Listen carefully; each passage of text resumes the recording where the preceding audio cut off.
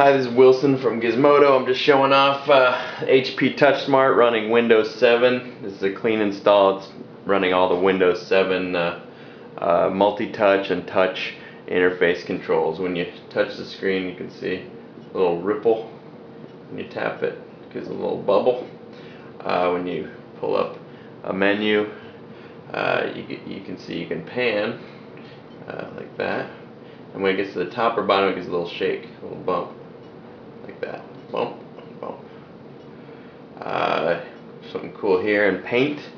You can do one brush, but you can also do two at the same time and cross over. Uh, remember, this is beta, but still pretty neat. Uh, let's see, in what you'd expect, you can do the zoom, uh, rotate like that. Rotate all around. And uh, that about that about covers it. Oh, and you can do a keyboard like that.